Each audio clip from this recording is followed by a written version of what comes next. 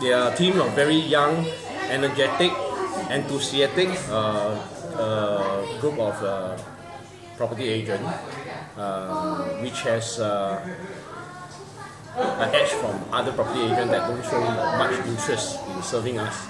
They understand our our so-called our needs, our requirements before they even brought us to view any property.